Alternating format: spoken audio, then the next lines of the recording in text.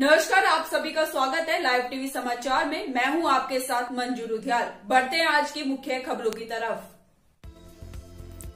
आपको बता दें कि माँ राजेश्वरी देवी चैरिटेबल ट्रस्ट नशे के खिलाफ व्यापक आंदोलन एवं पर्यावरण संरक्षण पर अपने कार्यक्रम आयोजित किया करता है।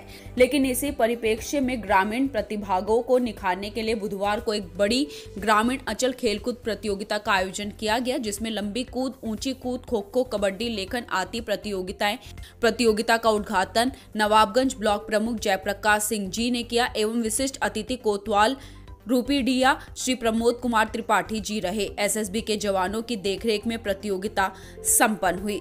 Bureau report.